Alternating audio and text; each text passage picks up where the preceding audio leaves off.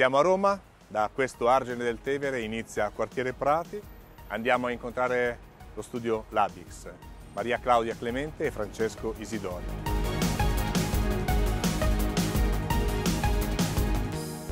Il nostro modo di approcciare il progetto è primo sperimentale, facciamo molta ricerca e per tutti i progetti la fase iniziale, che è la più lunga, è quella di cercare la risposta migliore alla domanda che viene da ogni progetto. E lo facciamo attraverso molti plastici, eh, molti modelli, pochi schizzi, ehm, in una fase molto analitica, quindi la, eh, diciamo, la fase di ricerca nel nostro lavoro occupa un grande, grande spazio. Un grande, grande spazio. Per come vi conosco, il discorso del passaggio della soglia degli spazi dentro gli spazi è molto importante. Questo si percepisce anche nella città, quando una vostra architettura entra in una città. Sì, è uno dei temi di ricerca, questo del rapporto tra l'edificio e lo spazio pubblico e quindi cerchiamo sempre di progettare edifici o spazi pubblici che in qualche modo interagiscono tra di loro in modo tale che l'architettura non interrompa la continuità della città e anzi spesso eh, lo spazio pubblico entra dentro gli edifici, lo attraversa in una promenade continua e, ed è una delle sfide, penso, in questo momento dell'architettura. Per chiudere questo breve sommario, la destinazione d'uso dell'edificio cambia il vostro approccio progettuale o cercate di tenere sempre delle linee guida che poi sono declinate ovviamente nel contesto? No, direi che il metodo non cambia, è chiaro che eh, la fase di ricerca cambia, eh, cambia quello che cerchiamo, come lo cerchiamo, lo speriment le sperimentazioni che facciamo, no, ma il metodo non cambia, ma non cambia neanche alla piccolissima scala e alla grandissima scala. Il metodo di lavoro è molto rigoroso e è abbastanza come dire, omogeneo, costante, cambia poi l'oggetto della ricerca, quello sì, ovviamente poi spaziamo eh, in campi diversi, ma il metodo è abbastanza coerente e costante. No? Per arrivare ai, agli strumenti della progettazione, prima di iniziare questo nostro viaggio nei vostri progetti recenti e meno, la materia, i materiali hanno avuto un'evoluzione incredibile negli ultimi anni, eh, come vi rapportate al, ai nuovi diritti alla materia? Ah, guarda, innanzitutto la, la materia è, è, un elemento importante del progetto e, e, ogni progetto ha la sua materia, non, non siamo monomaniacali nel cercare diciamo, di, di attribuire, appunto, di usare pochi materiali perché pensiamo che ogni occasione abbia una sua materialità specifica, per cui ci sono gli edifici che devono essere in cemento, gli edifici in acciaio, chi più leggeri in vetro, quindi il legno stiamo utilizzando ultimamente, insomma crediamo che sia un elemento molto importante. Partiamo allora con questo viaggio nei vostri progetti, da cosa iniziamo e ce lo racconti in due minuti. Iniziamo da una cosa piccola, mm. da una piccola casa che abbiamo fatto a Roma, eh, davanti al Pantheon, che è una casa privata. Ecco, e qui è molto importante magari non tanto descrivere il merito del progetto, ma raccontare come anche in una casa abbiamo cercato di fare quello che raccontava prima Francesco, cioè portare lo spazio, differenziare il progetto spazio pubblico e spazio privato. In una casa cosa vuol dire? Invece di, era una casa molto stretta e lunga, eh, una casa diciamo tessuto medievale, non un palazzo ricco, eh, normalmente c'è un corridoio e poi le stanze infilate. Noi abbiamo proposto ai committenti di eliminare il corridoio e di rendere questa casa una stanza dentro l'altra come si faceva nei vecchi palazzi nobiliari, il che vuol dire però che quel rapporto pubblico-privato, quel rapporto di stanza privata e corridoio di distribuzione come nei palazzi vecchi non c'è più e questo ha implicato una rivoluzione anche domestica per loro, inventarsi un nuovo modo di vivere eh, in cui ovviamente i genitori per andare a dormire passano per la stanza dei figli. Noi dubitiamo che i figli siano contenti di questa cosa che è accaduta, però i genitori sono molto contenti e, e questo ecco di nuovo vedi il ragionamento che portiamo anche a una piccolissima scala. Per quanto riguarda i materiali, ecco questo è anche interessante, stando a Roma e volendo fare una casa romana, ma comunque come dire contemporanea, abbiamo sperimentato materiali che, sui quali noi non avevamo lavorato tanto, che sono tipo il marmo, l'ottone, il marmorino, quindi abbiamo utilizzato materiali tradizionali perché in quel progetto erano giusti, non faremo mai un, un edificio in ottone, ma quel progetto erano giusti usare quei materiali e abbiamo, abbiamo, sperimentato un uso contemporaneo di materiali per noi nuovi, che ci sembravano corretti però in quel progetto specifico.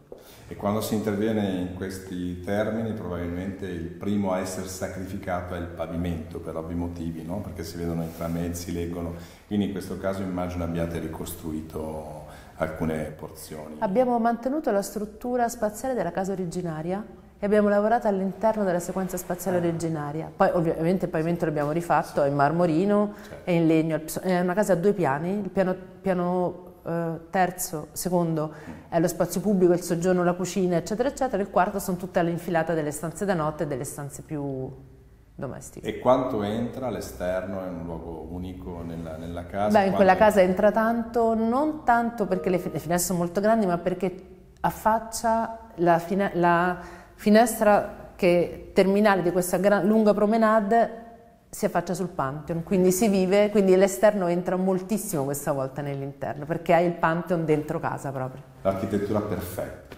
esatto, è proprio l'architettura esatto. perfetta, su quello siamo tutti d'accordo. Parliamo di un altro progetto. Sì. Beh, uno dei progetti a cui teniamo più di tutti è sicuramente il MAST a Bologna, forse è stato il primo grande progetto che abbiamo realizzato, non progettato ma insomma realizzato.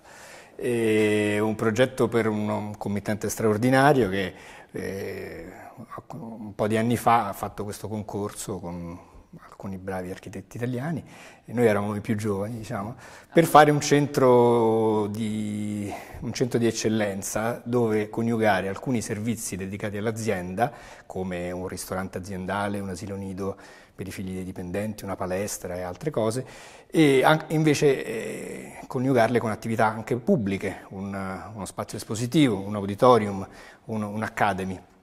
E quindi è un edificio, eh, sebbene privato di, in termini di proprietà, pubblico aperto, di fatto, aperto eh, alla città, che costruisce un ponte tra l'azienda e la città.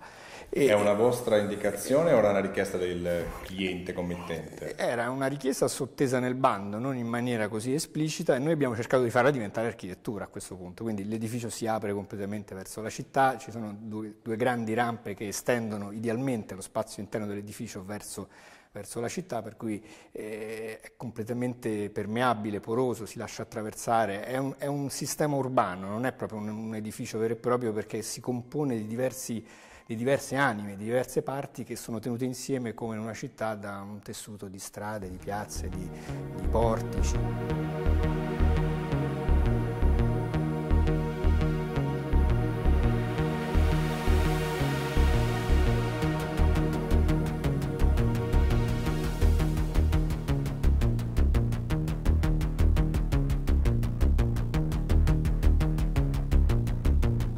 Architettori di questo genere in qualche modo lanciano no? nella, nella, nella, professione, ma sicuramente costituiscono anche un manifesto, un punto di partenza. Eh, come hai detto giustamente abbiamo in qualche modo forzato eh, la richiesta del bando e eh, portando, eh, aprendo ancora di più. Eh, vi è successo anche in altre situazioni di forzare la mano? Eh sì, abbastanza. diciamo, beh, magari inizio io, poi può finire Claudia. Eh, l'idea che l'edificio possa partecipare della vita della città e dello spazio pubblico è diventata eh, inizialmente è nata appunto forse come, come un'occasione, ma poi è diventata una nostra ossessione, per cui oggi cerchiamo di farlo in tutti i progetti. Il secondo grande progetto dove abbiamo in qualche modo cercato di forzare la mano è stato Città del Sole, dove in un edificio, in un intervento benché frutto di un concorso pubblico, un intervento privato sostanzialmente di eh, spazi residenziali, uffici, eh, spazi commerciali, abbiamo cercato di fare tutto l'opposto di quello che normalmente un, uno sviluppatore privato cerca di fare, cioè di chiudere eh, il proprio recinto e separare diciamo, la dimensione pubblica da quella privata. Invece il nostro intervento che si compone di cinque edifici, è fatto di una serie di promenade, eh, di passaggi pubblici, di, di, di, piazze, di terrazze che diventano piazze pubbliche eh, in quota, insomma un brano di città eh, in cinque edifici e quello è stato un altro progetto divertente. Diciamo che quello che ci interessa è superare la dimensione dell'edificio come oggetto ehm, come, dire, come un oggetto che tu poggi in un luogo, no? senza nessun... Esatto. Come un oggetto, noi diciamo un oggetto di design, che la grande sì. differenza fra il design e l'architettura è nel rapporto con l'oggetto di design, ha in sé il fatto di essere atopico, un'architettura invece ha una relazione col luogo, no? dovrebbe avere per noi una relazione col luogo. E quindi questa, è questo scardinare l'idea dell'oggetto eh, iconico che è stato l'ossessione degli architetti negli ultimi vent'anni, ma di riuscire a far sì che l'architettura riesca a contribuire alla qualità dello spazio urbano alla sua come dire, dimensione urbana per noi è una cosa veramente prioritaria.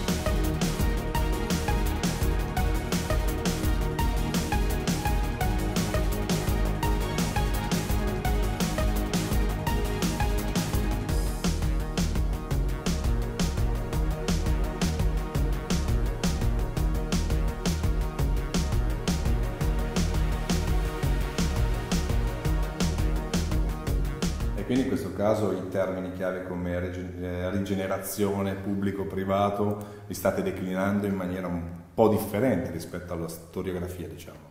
Beh, noi pensiamo che se l'architettura riesce a contribuire alla qualità dello spazio urbano, lo spazio pubblico, in realtà sia di, uno strumento importante di rigenerazione, perché la rigenerazione certo. non si fa solo con l'edificio, si fa soprattutto eh, col chiaro. piano zero.